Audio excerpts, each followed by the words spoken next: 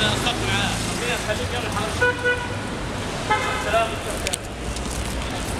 We are downtown, and as you can see, there's quite a bit of smog or smoke or something, what kind of, any kind of pollution in the air. Nobody really knows what it is, but they call it the black smoke monster. Just kidding. Actually, I call it the black smoke monster. But, uh, yeah, so this is pretty bad. We're breathing it. We're looking forward to coming back.